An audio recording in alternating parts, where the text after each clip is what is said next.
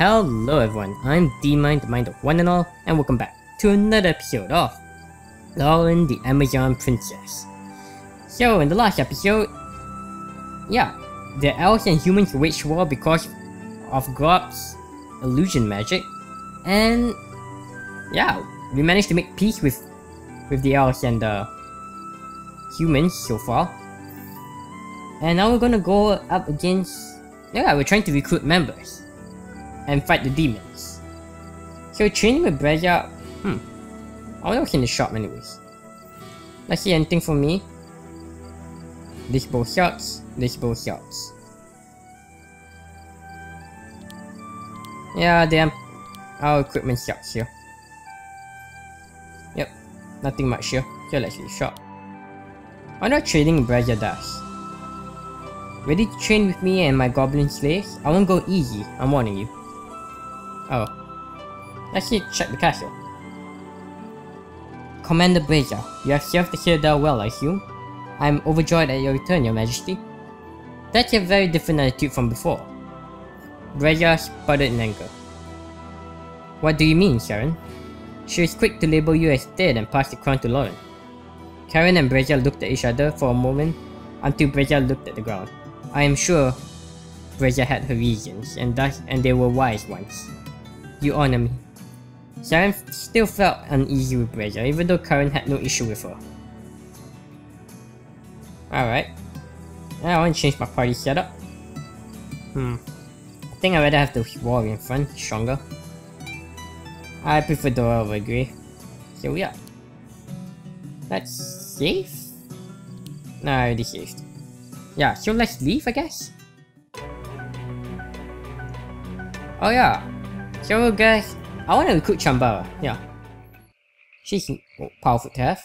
And Sharon led the party through the murky waters of the unforgiving swamps.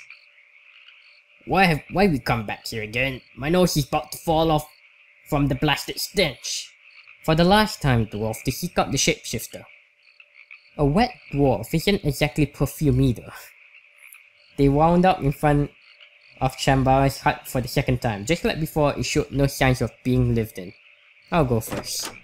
Sharon knocked on the door, but no one answered. Eventually, he pushed it open. The inside was just as luxurious as when they had last found it, but Chambara was nowhere in sight. Let me guess, a giant scorpion or spider walks out this time. Where is she? Has she shapeshifted again? Chambara, we are friends. We just come, came to talk. Everyone was silent as they eyed every insect and chair, candlestick, and candlestick for any signs of the witch, but nothing seemed out of the ordinary. Witch, are you here? Maybe she actually isn't here this time. There was still no response from anything. The continuing silence proved that indeed the house was empty. The party had no other way of contacting her. This was a waste of time, let's go. The party piled out of the house and back into the muddy swamp. Hold on. There are two sets of footprints going off in that direction. Ray pointed out the tracks on the ground where the party had not walked. But who is the second person? Loren put out his sword and followed the footsteps. Let's find out. As they hunted for signs of Chambara, they picked up the scent of a campfire and followed it deep into the marsh. After some time, they finally found a campsite ahead in the trees. They could hear, they could even hear a voice. Now, now, be nice, sugar. Some kind of cowboy guy? There was a man clad in unusual clothing, and an, and an enormous sword swung across his back. They crept close and sat as silent as they could.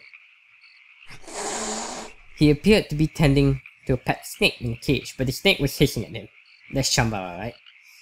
You're gonna have to do you're gonna have to do better than that to scare me. The snake morphed into a giant scorpion. They instantly knew that it was Chambara and that this man had captured her. Oh, you're a witch hunter.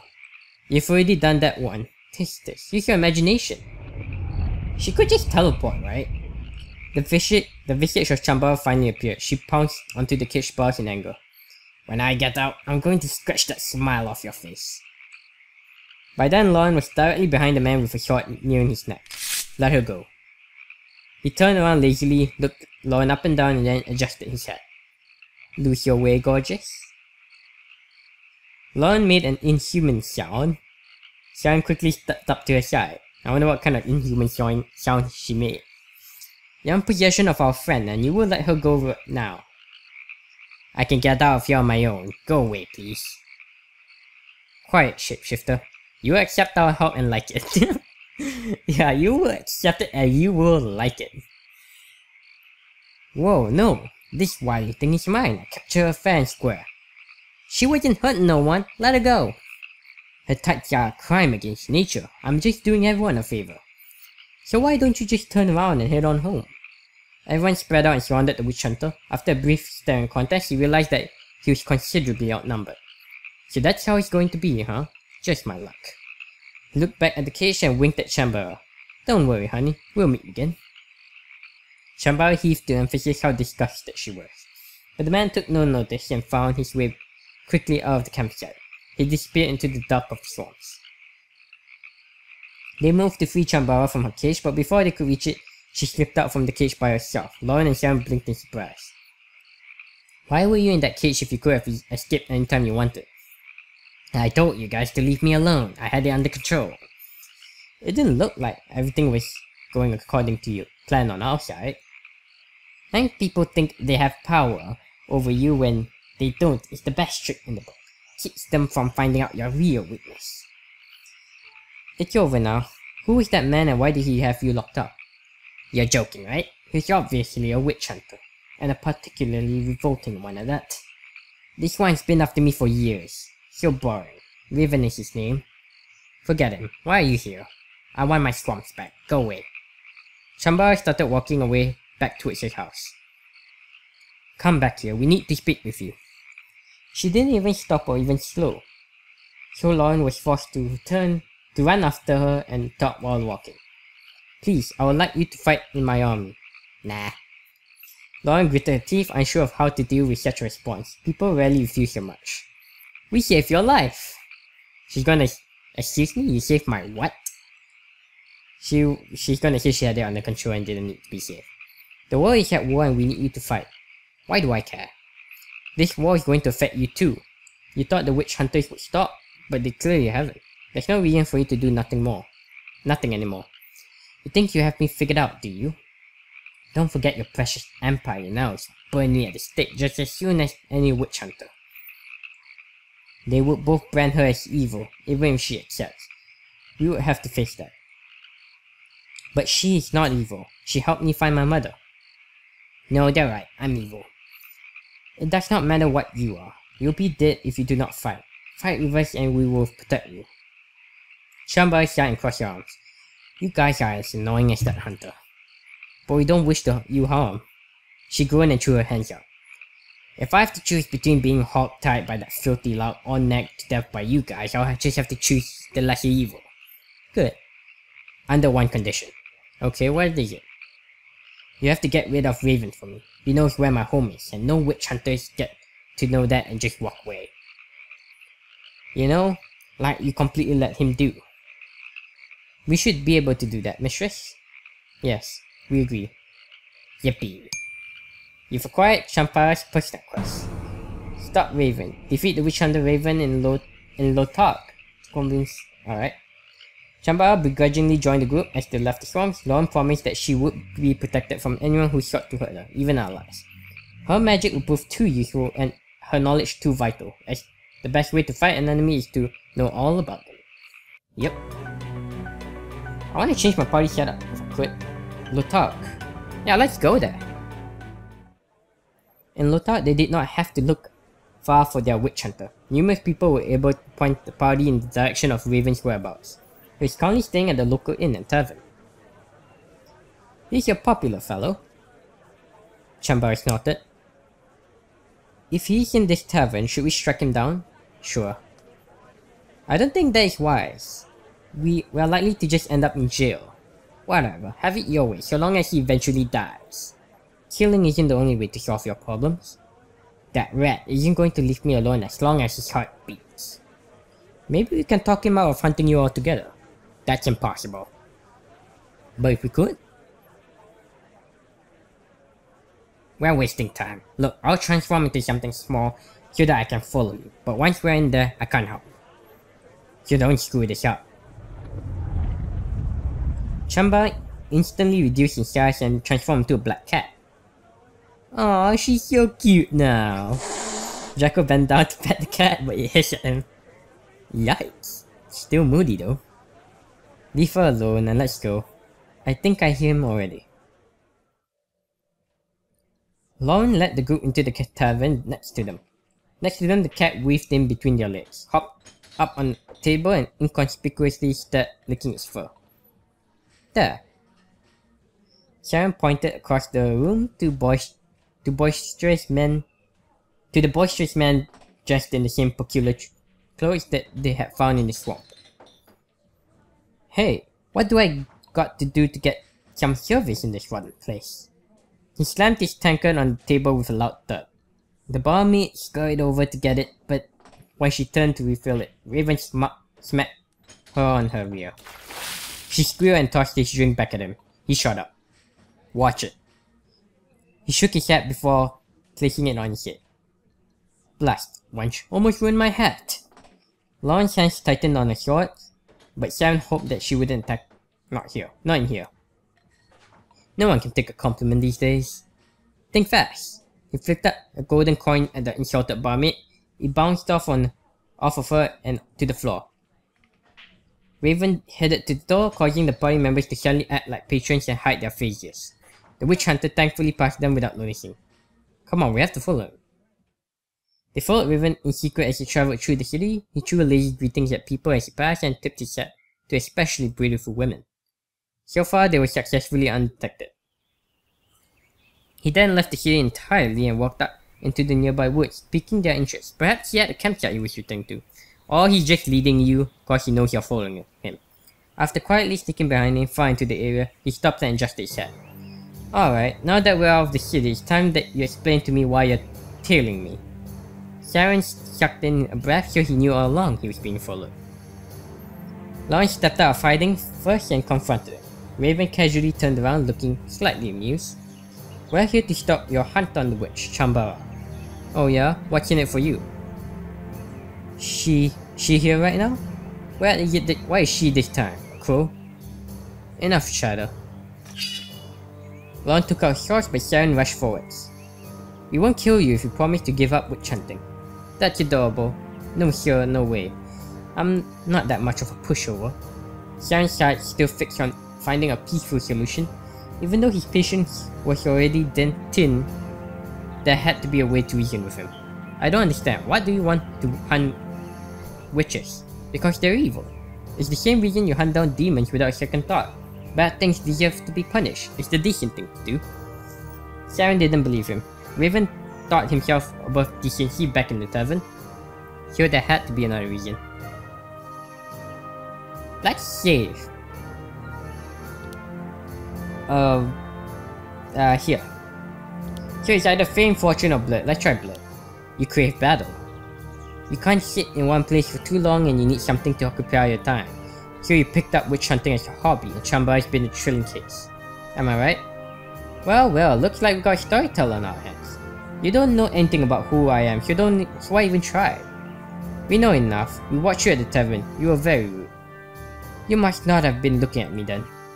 Do you bother women so often, Raven? What inferno are you talking about? Boy, you better check yourself. That had to be more to it. Mother issues, selfishness, bad relationships. Oh come on, let's try bad relationships.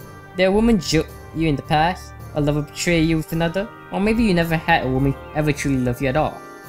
Raven's eyes widened as he frowned. Why are you asking all these blasted questions? You think I'm just going to give up my career because you asked me? You deserve better. Forget hunting. Why have your life revolve around murder and death? You could do so much more with your life. Murder and death? That sounds like an alright time. Boys! Heavily armed men stepped out from behind the trees with crooked grins on their faces. It's gonna be a pity killing such fine looking people, but well, that's just how the story goes. First you, then the shapeshifter, all in a day's work. Loren gladly rushed into battle. Oh, uh, could I have convinced him? Let me save the game. Here. Alright. Hmm, I, I don't have Chamba with me. Alright, I'll take this. I wonder if I could have convinced him. Yeah, let's try that.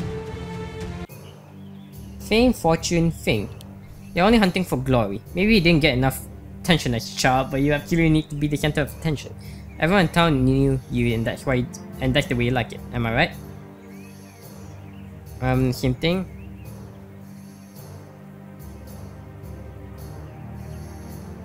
Mother issues. Did your mother mistreat you as a child? Do you feel the need to take that vengeance out on whoever you meet?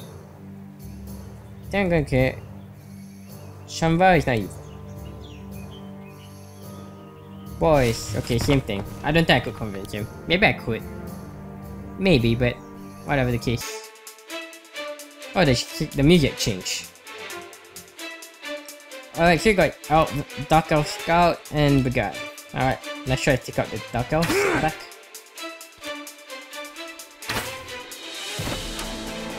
Doesn't matter, Draco can burn you all. Hmm. Let's see, Amukiki. Your damage is terrible. Let's see. Yep, I'm fine with this.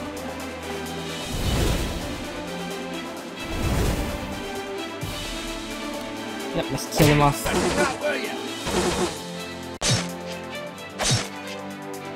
Oh, he's still alive. I thought he would have died. Alright. Learn from this. Um, your turn. You do so little damage. And you missed. Alright.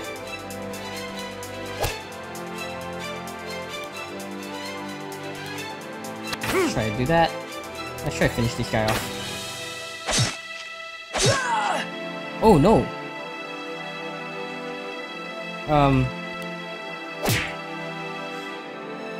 I should wait for Sharon's turn, right? I did not notice. Um, Draco.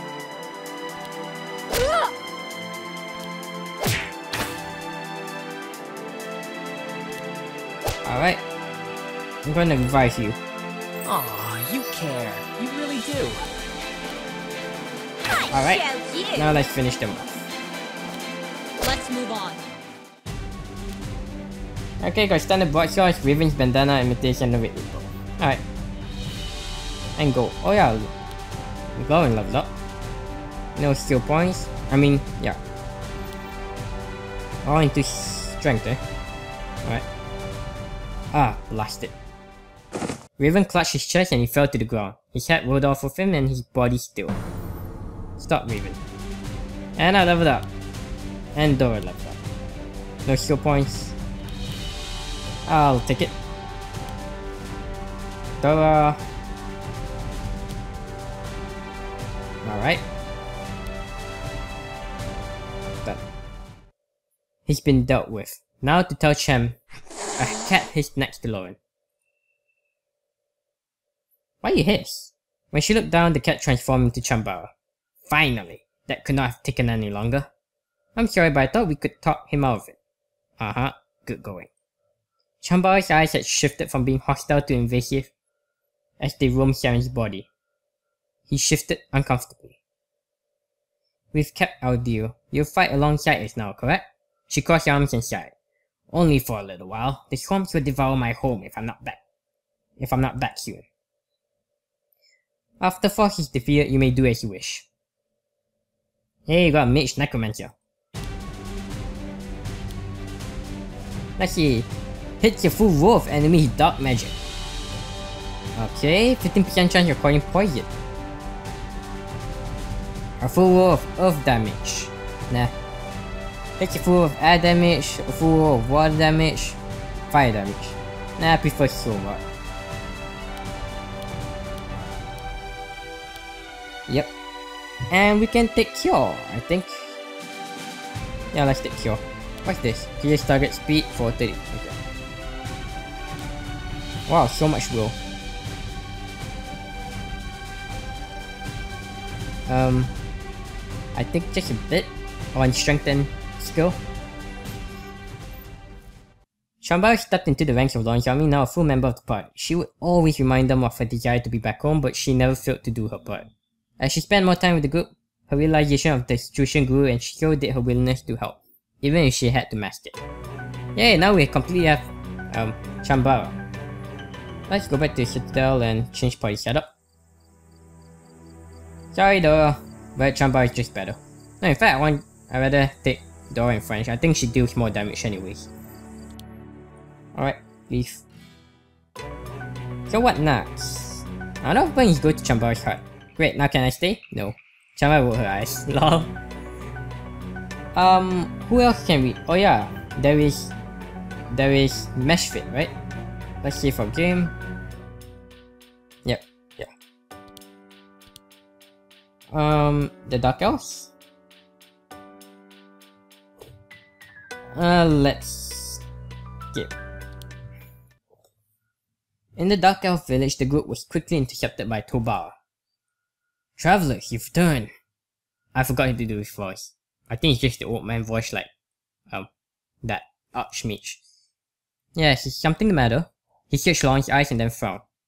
So you have not come with news. What were you expecting? My son, Mesphit. He's missing. Excellent. Looks like I'll be hunting him once more. Now we see who is really the monster between us. And that he would be completely under control, he's clearly not, I'm afraid. Please do not kill him, I beg you. He's a good boy. That's a laugh. You have a weird sense of humor. I cannot excuse Mesphit's crime of dealing with demons, but he's not in league with them. He was driven to this. He told me how he felt trapped and powerless over our situation in the desert. He only wanted to help. I thought that you all had come to announce his death, but if he's still alive, you must return him to me, please. I know only that he was speaking of the Cyclops before he managed to escape my guardsmen, before he... He's not an evil person, the demon inside of him. That is not Mesphit. That is not my son. We understand, but know that if he is dangerous, then he will be treated with the same hospitality that I give to any demon. Tobias' eyes darkened with the possibility. I suppose now there is some hope that he may still live, rather than none. I'll cherish it in time that you are gone. Find Mesphit. Loren led the group out of the desert with the new goal of finding Mesphit. Alright. Cyclops. Ah yeah, he was here. Let's go there. The party traveled to the last known hunting grounds of the Cyclo Cyclops. Using race tracking skill and his thorough knowledge of Mesphit, um, they were able to confirm exactly where he was headed. They want they wandered into a canyon and stopped when they saw a threatening Cyclops in the distance. It was too late to leave unnoticed. The monster stood up and looked right at them. I don't like this at all. The slain men like them. Oh, he's big. But even Loren's courage faltered as she felt the ground shake with each step of the Cyclops. As he advanced to his party. Be careful. The Cyclops suddenly charged at the party with an aggressive roar. And then a, might a mightier roar stopped the Cyclops in its tracks. It looked around in confusion. Mesphit? A beast sprang out from nowhere and attacked the Cyclops. The whole party stumbled backwards. The Cyclops whined in pain and ran in the opposite direction. His attacker did not chase him. Whoa, Mesphit, you look badass! By the moon. Xian slowly recognized the unusual demon to be Mesphit, but he looked very different. Alright, we found him. He shyly faced the party, demonic eyes pulsing, fang teeth bared, and dripping blood from his recent attack. Gotcha. Ray Cook cocked his crossbow and aimed it right for the Dark Elf's head. Xiang sheathed the shot and rushed towards Mesphit. Move, you're in my shot! But he did not stop and confronted the demonic, the demonic elf entirely. I think that's what he said. He growled at him in a mixture of primal instinct and recognition. Xiaoran punched Mesphit directly in the face. The entire group gasped at Mesphit, reared back with a snap of his teeth. What's wrong with you? Your father thinks you're dead. You think you keep breaking his heart and ruining everything the Dark Elves are fighting for. You hurt your own brothers escaping your isolation and for what? You're just roaming around out here? I think it's time you stop being so selfish. Mesphit breathing unfurled in low grouse as he scowled at Serena's words. Loren was on edge, afraid of a companion for a companion's life. Oh, he transformed back. Slowly, the dark elf's breathing and form both returned to normal. The color of his eyes returned and his beastly features subsided. He was finally only looking at Sharon with a hard gaze. There, that's better. A hand on Sharon's arm pulled his, him away from Mesphit. Loren's sword was shining brightly against Mesphit's skin as she simultaneously threatened him with it and eased Sharon away. Your terror ends now.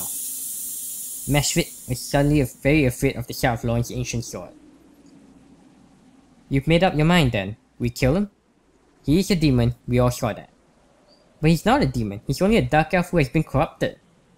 Which was his own choice. Which was his own choice, mind you. He asked for this. No. Everyone was startled to hear his normal voice. I didn't ask for this. Do you have some sort of demon disease? Ah, are you contagious? She said I would be given power and I had no ability to say no. Loren's throat shook as if she wanted to believe him, but she was still torn. He's a demon. He was not born in Everburn. Only part he's not born in Everburn. Only part of him is corrupted, and a part that can obviously be tamed. Karen looked over at Sharon with interest. Do not speak of me as if I am not here. You won't be here. Your life is in our hands, if you've forgotten. Mesphit's breathing start, started to quicken in response to the threat. Loren, no. Lower your sword, you're stirring the demon inside of him. Sharon wanted to see if Mesphit could eject his demon side, demon side, because if he could, then he could be redeemed. Mesphit stared at them all for a long moment. The entire group waited on edge to see which form he would take. But he, silent, but he suddenly bolted away from them. He ran across the sands to escape. I got him. We shot him, but Mesphit was running with demon speed. They attempted to catch up with him. It was only a matter of time before they lost him completely. The party slowed to a halt and caught their breath. I'll not stand his games anymore. Not as easy as he looks, is it? He has an unfair advantage. We need to hunt him down. Sharon heard something to his side. It could have easily been an animal, but his intuition hinted something more.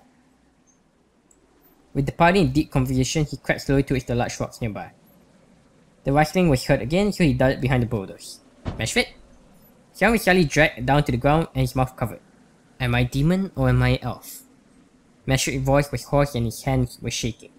Yet when found, Sharon found his eyes, they were sharp as, as swords. Sharon pried his hands from his mouth and matched those eyes then. I see an elf. He seemed so calm. He seemed to calm. They stared at each other, the hot sands burning their skin. Finally, he looked down The an arrow stuck in his leg. He ripped it from his skin without a second thought. Stop. Let me. Sharon used his healing magic on Mesphit and the arrow won't close.